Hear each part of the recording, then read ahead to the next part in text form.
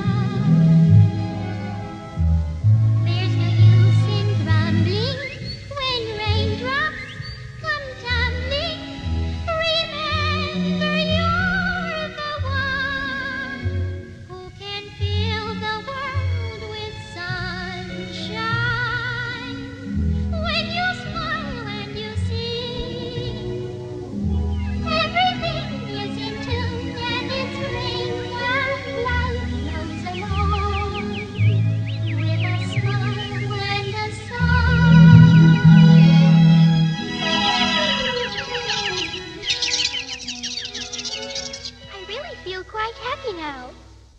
I'm sure I'll get along somehow. Everything's going to be all right. But I do need a place to sleep at night.